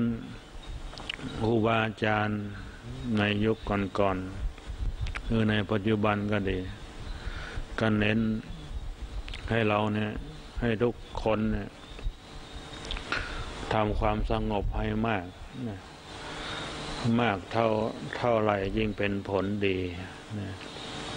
ทำความสงบเกิดขึ้นมากเท่าไหร่ยิ่งดีนะ ทำสติให้มากเท่าไหร่ยิ่งเป็นประโยชน์มาก เพราะสตินี่ก็จะเป็นเครื่องมือในการพิจารณา ถึงอุบายธรรมต่างๆได้ เมื่อเรามีสติ เมื่อเรามีสมาธิปัญญาก็เกิดขึ้นตามมานะ แต่ถ้าเราไม่มีสติไม่มีสมาธิ เราพิจารณาว่าปัญญามันไม่เกิด มันมีแต่ความสงสัย เราจะศึกษาจากตำราก็ดี จากการได้ยินได้ฟังก็ดี มีแต่ความลังเลสงสัย เพราะความสงบยังไม่เกิดขึ้น ความสงบยังไม่เพียงพอนะเพียงแต่ได้ยินได้ฟัง แล้วเก็บมานึกมาคิดเท่านั้นเองครูบาอาจารย์ทุกรูปก็จึงแนะนำให้ทำสงบทำความสงบให้มากมากหลวงปู่สังวานนั่นก็ แนะนำให้ทำกรรมฐานให้มากมากทำสมาธิให้มากมาก ก็จะค่อยๆดีขึ้นเองนะก็เป็นจริงนะจะมาอยู่ได้มาทุกวันนี้ก็ด้วยอาศัยกรรมฐาน จากที่ครูบาอาจารย์ได้ให้ไว้ได้แนะนำไว้นั่นเอง ก็ยังยังต้องทำอยู่ เป็นประจำอยู่เป็นอย่างนิด ต้องทำสติต้องมีภาวนา ละทิ้งไม่ได้นะเมื่อเราละทิ้งกรรมฐานละทิ้งภาวนา ก็เป็นการเปิดช่องให้กิเลสเข้ามาครอบงำในใจของเราเลยนะใจก็จะไปจับอยู่กับสิ่งที่ตาเห็นรูปจมูกได้กลิ่นลิ้นได้ลิ้มรส หูได้กระทบเสียง เมื่อเรามีสติน้อย ก็ไม่ทันในอารมณ์ทั้งหลายเหล่านี้ สติน้อยไป สติอ่อนไป ก็ไม่ทัน ไม่ทันต่ออารมณ์ที่เกิดขึ้นนี้ได้ เราต้องอาศัยสติยม อาศัยสติ อาศัยสมาธิให้มาก ๆ เมื่อเรามีสติเรามีสมาธิมาก ความรู้เห็นเกิดขึ้นยมความเบื่อหน่ายคลายวางเนี่ยจากความสำคัญตัวสำคัญตน ในตัวในตนในเราในเขาเนี่ยเกิดขึ้นเอง เกิดขึ้นจากความสงบนี่เอง เกิดขึ้นจากความรู้ความเห็น ตามสภาวะความเป็นจริงนี่เอง อยู่ไปเราทำไปอยู่ไปนานไป ย่อมรู้ย่อมเห็นย่อม เราปฏิบัติทุกวันทุกวันเป็นประจำมันต้องเห็นมันต้องรู้ให้ได้ เพราะอะไร เพราะเราอยู่ยิ่งนานไป เราก็เห็นสภาวะ กายของเราแล้ว เบื้องต้นมีอะไร ความแก่ยอมจากคนที่ไม่เคยแก่ก็แก่นะโยมนี่เราแต่ก่อนเราเคยเป็นเด็กมาหมดทุกคนแต่ตอนนี้ความเป็นเด็กนั้นไปไหนแล้ว มีความแก่มาแทนที่ ทุกคนไม่อยากจะได้ยินเลยคำว่าแก่เนี่ยสมาก็ไม่อยากแก่เหมือนกันยอม แต่มันก็แก่นะจากตะกอนนี้มีคนเคยเรียกเคยทักแต่หลวงพี่ปัจจุบันนี้ไม่มีใครเรียกเลย ไม่มีใครทักเลย แสดงว่าแก่จริงๆไม่มีใครเรียกหลวงพี่เลย มีแต่หลวงพ่อ มีแต่อาจารย์นั่นเลยนะเนี่ยยืนยันถึงความแก่เนี่ยเราแก่จริง ๆ เมื่อเราเห็นความแก่อย่างเงี้ยจึงมีความเกิดความเบื่อหน่าย เบื่อหน่ายไม่อยากได้ไม่อยากมีไม่อยากเป็นละอยากจะหลุดพ้นจากความเกิดความแก่ความตายเนี่ยเกิดความต้องการหลุดพ้น จากห่วงแห่งความทุกข์ มันมีความเกิดความแก่ความตาย ความโลภความโกรธความหลง เกิดความเบื่อหน่ายไปได้แต่มาแรกเริ่มเดิมทีเนี่ยโยมไม่คิดว่าจะอยู่มาถึงวันนี้พ่อแม่โยมแม่เนี่ย อยากจะให้บวชแล้วก็ตมาก็คิดว่า ก็ทำให้แม่สักครั้งหนึ่ง ตั้งใจจะบวชเพียงแค่เดือนเดียวโยมป่านนี้ยังไม่ได้ศึกเลยล่วงมาสามสิบปีแล้ว แม่ก็ไม่อยู่แล้ว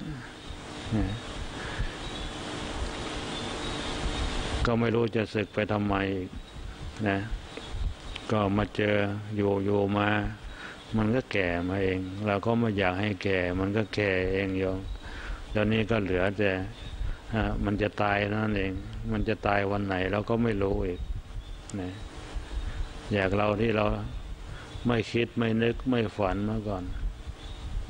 อยากจะบวชเพียงแค่เดือนเดียว แล้วก็ศึกไป แล้วก็ไปทำงานตามตามภาษาของชาวบ้านทั่วไปนะพออยู่ต่อมาอยู่ต่อมา เออ มาฟังหลวงพ่อเทศ มาฟังท่านสอนนะให้ให้เราเนี่ยได้รู้จักความสงบนะให้ทำความเพียรนนะ ให้กำหนดดูลมหายใจนะ ให้มาพิจารณาดูกายของเราเนี่ยหลวงพ่อเน้นเหลือเกินเนี่ยผมคนเล็บฟันหนัง ให้กำหนดตั้งแต่ อย่างหยาบ อย่างกลาง แล้วก็อย่างละเอียดนะอย่างอย่างหยาบก็พิจารณาให้ลมดูลมหายใจพุทลมเข้าตัวลมออกเนี่ยพอให้เข้มงวดอีกหน่อยก็ให้ท่านให้บอกให้ไปกำหนดเก็บอารมณ์นะปิดวาจา ให้มากำหนดดูยุบหนอพองหนอ ให้กำหนดดูที่ท้องพองยุบทำให้เกิดความสงบได้ง่าย ได้ดีกว่าการกำหนดกำหนดเพียงแค่ ลมหายใจที่ปลายจมูก ถ้าให้ละเอียดกว่านั้นไปอีกมันต้องกำหนดหลวงพ่อก็แนะนำว่า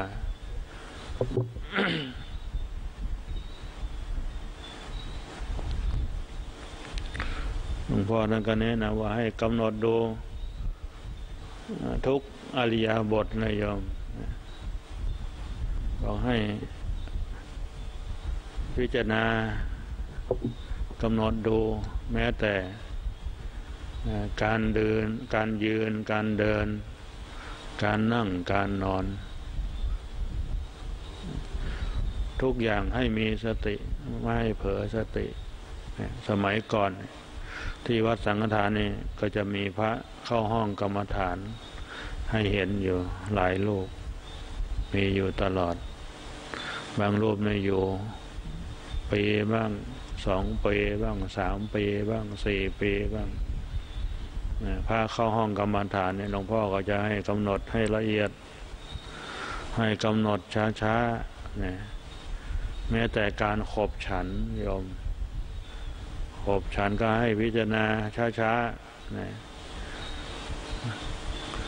เราตักช้อนเข้าไปก็ให้พิจารณาทันใครช้าๆยกช้อนมาก็ให้มีสติกำหนดช้าๆนี่ย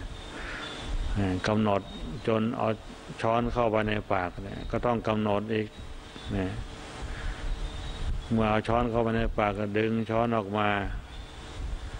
ให้วางช้อนไว้ก่อนกำหนดช้าๆ แล้วค่อยๆเคี้ยว หลวงพ่อบอกให้ค่อยๆเคี้ยว เราเคี้ยวไว้เนี่ย ให้กำหนดดูอีกว่ามันมีรส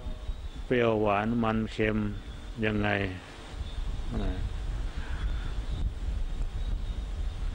ใจเราเนี่ยมีความยินดี ในรสที่มากระทบลิ้นนั้นไหม เรายินดีในรสเปรี้ยวหวานมันเค็มมากเท่าไหร่นะเราให้กำหนดรู้ด้วยว่าคำหนึ่งเนี่ย เราเคี้ยวกี่ครั้งนะจนกว่ามันละเอียดเนี่ย แล้วก็กืนลงไปก็กำหนดดูอีกว่า อาหารเนี่ย ไหลไปสู่ท้องเนี่ยเป็นยังไง กว่าจะฉันข้าวเสร็จโยม ใช้เวลาหลายชั่วโมงเลยฉันตั้งแต่สามโมงเนี่ยเก้าโมงเนี่ยกว่าจะไปเสร็จนะเกือบเที่ยงโยม ได้ไม่กี่คำเองนะบางรูปบางองค์ได้แค่ยี่สิบห้าคำ องได้แค่สามสิบคำ จะหมดเวลาแล้วจะเที่ยงก็ต้องหยุดนะพอหยุดจากเสร็จจากภาระกิจการฉันแล้ว ก็กำหนดอีกลุกก็ให้มีสติเอาบาดไปล้าง ก็มีสติกำหนดค่อยก้าวเดินไปจะเดิน จะขยับกายไปทางไหน หลวงพ่อบอกให้กำหนดสติให้หมด แล้วก็ให้นอนได้เพียงแค่ วันละสี่ชั่วโมงเท่านั้นเองพระก็ทำได้ทำเช่นนี้เป็นประจำ เมื่อเราทำเช่นนี้หนักเข้าหนักเข้านะก็เกิดความรู้ความเห็นขึ้นมาเองโยม เกิดเป็นสมาธิขึ้นมา เกิด เห็นใจ เห็นความคิดนึกตัวเองเนี่ยเมื่อเรากำหนดให้ละเอียดเข้าเนี่ย มันรู้ทันความคิดนึก เช่น เราจะพูดอะไรออกไปเนี่ยสติรู้แล้วว่าเราพูดออกไปเนี่ย ดีไม่ดี จะพูดคำไหนดี พูดหรือไม่พูดดี ส่วนใหญ่ก็ไม่อยากพูดเพราะมันเบื่อนะ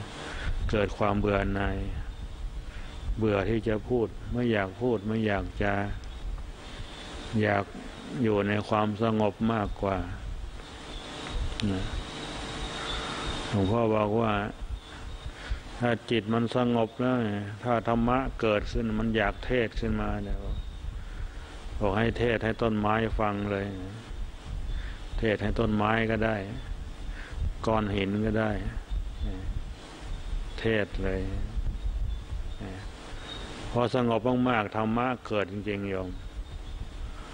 ธรรมะเรื่องนั้นเรื่องนี้เกิดขึ้นมาเป็นอย่างเป็นอย่างเป็นช็อตเป็นช็อตแล้วก็มานึกนึกถึงที่หลวงพ่อท่านบอกอถ้าเรามามาเทศเนี่ยมาเจริญพรต้นไม้ทั้งหลายเเดี๋ยวก็บ้าดนะโยเดี๋ยวก็ได้เข้าสีทันยาเออ มันก็เลยมีสติเลยรู้ทัน เออ มันก็ดับได้สิ่งใดเกิดเห็นความเกิดความดับสติเกิดขึ้นได้เมื่อมีสตินี่เกิดปัญญาขึ้น ปัญญาก็รู้เห็นตามความเป็นจริง เกิดความเบื่อหน่ายนะไม่อยากที่จะไปลำบาก ไม่อยากที่จะไปต่อสู้ในทางโลกอีกแล้วนะพระที่มีสมาธิที่ได้สัมผัสความสงบ ที่ได้ปฏิบัติจริงจังแล้ว ย่อมไม่อยากที่จะออกไปสู่โลกภายนอกอีกนะ พอมองเห็นภัยในวัฏสงสาร คือความทุกข์นั่นเองยอมมีครอบครัวเนี่ยโยมมีคนหนึ่งโยมก็ทุกคนหนึ่งโยมมีลูกหนึ่งคนโยมก็ทุกเพิ่มขึ้นมาหนึ่งคนโยมมีสองคนก็ทุกขึ้นมาสองคน ยิ่งยุคนี้สมัยนี้ใครมีลูกมาก ก็มีความทุกข์มาก ต้องเป็นภาระเลี้ยงดูทุกอย่างนะพ่อแม่นี่จะต้องมีความพร้อมมาก จึงจะอยู่ด้วยความสมบูรณ์อยู่ด้วยความสุขได้ แต่ก็มีน้อยนะส่วนใหญ่มีทุกข์เหมือนกันหมดเลย ทุกข์บางคนทุกข์จนไม่อยากไม่มีเวลาที่จะมาวัดเลย นะนะหยุดไม่ได้บางคนบอกอยากจะมา อยากจะเคยมาปฏิบัติเหมือนกัน แต่อยากจะมา แต่ไม่มีจังหวะ ไม่มีโอกาสที่จะมาปฏิบัติเลย เพราะอะไร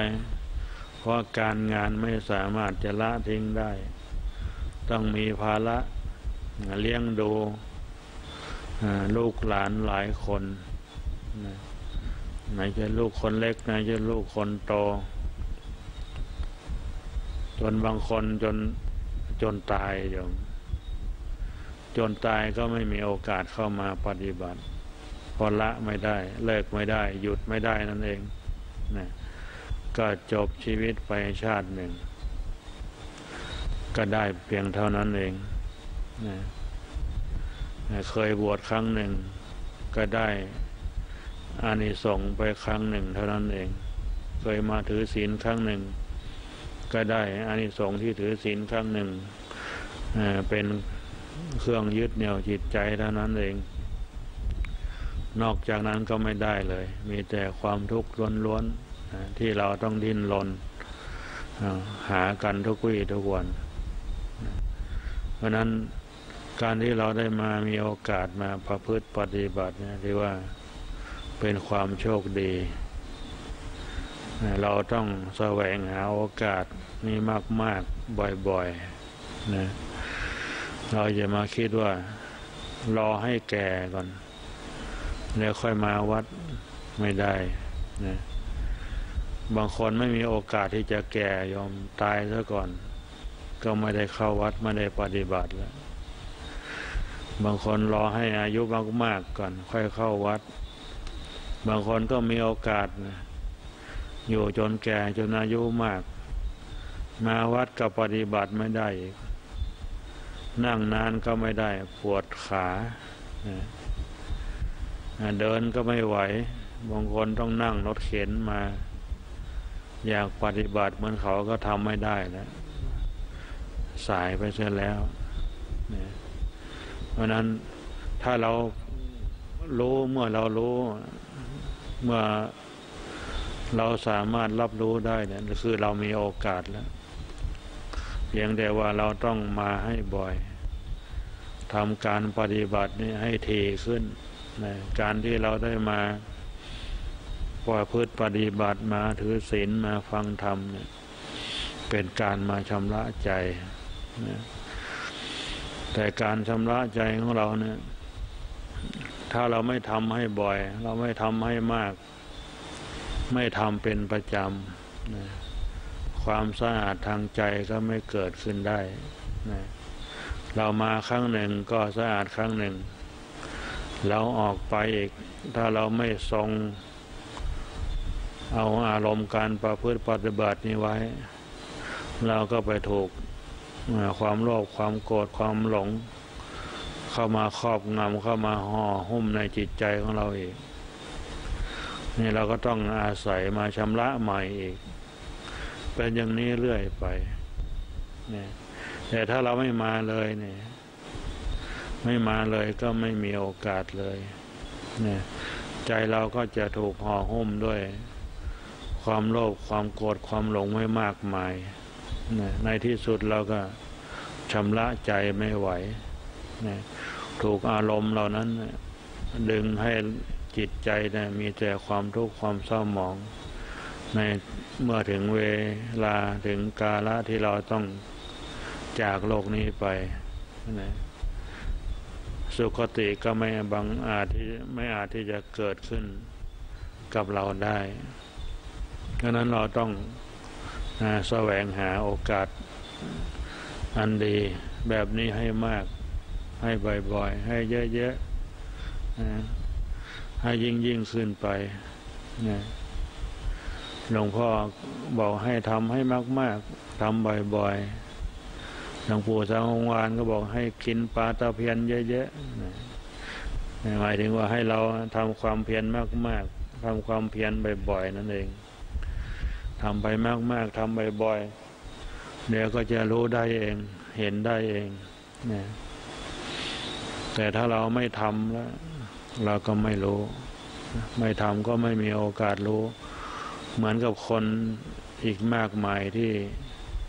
ไม่ได้มีโอกาสมา ประพฤติปฏิบัติเช่นเราเพราะนั้นก็ถือว่า ในวันนี้ในข่าวครั้งนี้ก็เราได้มีโอกาสดี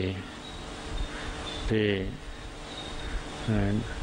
ทางวัดสังฆทาน ได้มีการจัดการประชุมพระกลางพรรษา แล้วก็ได้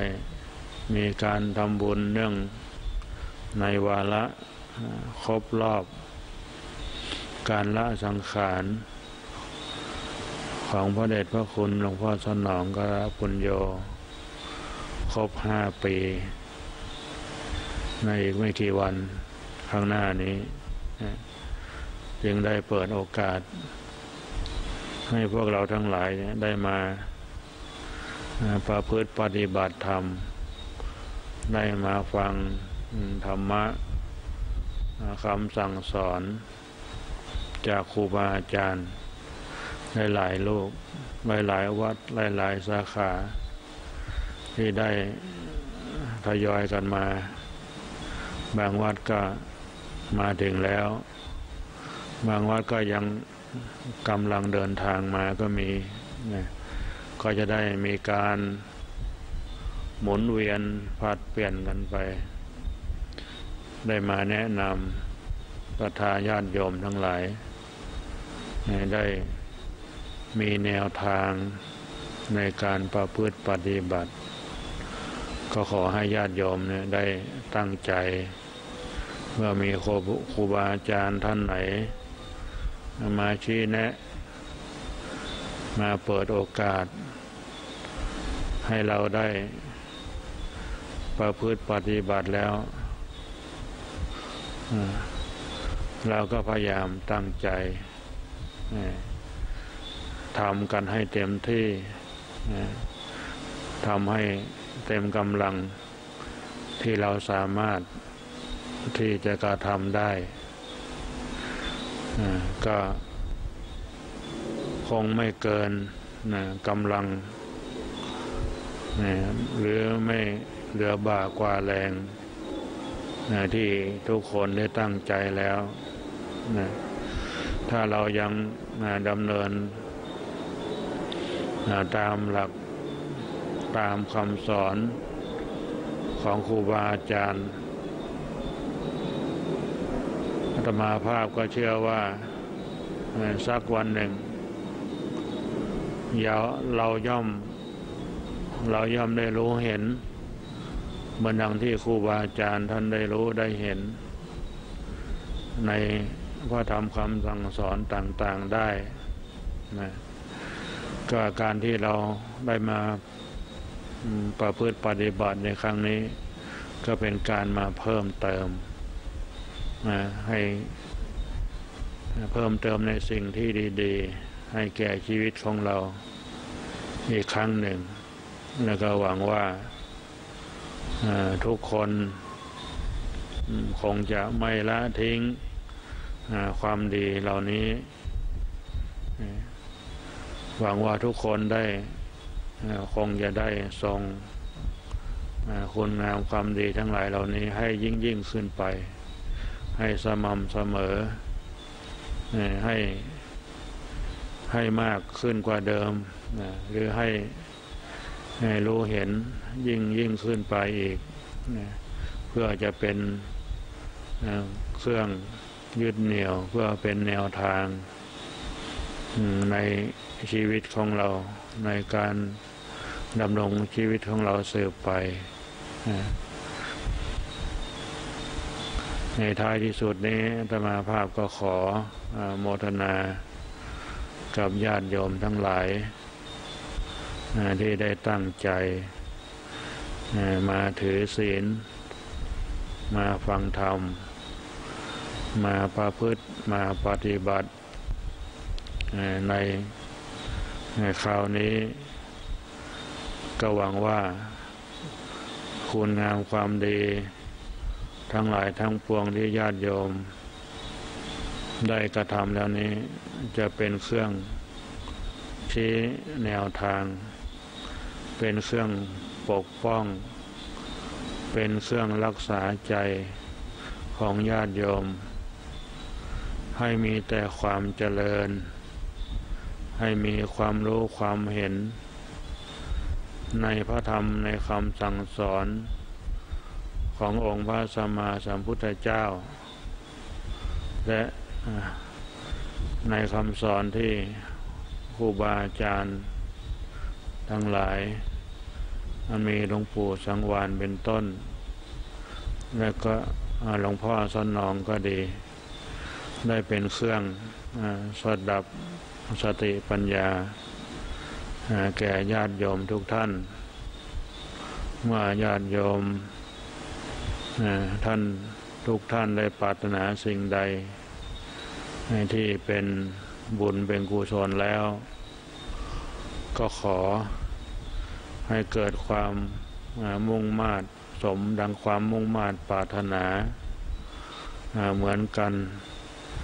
ทุกรูปทุกนามเทินสำหรับการบรรยาย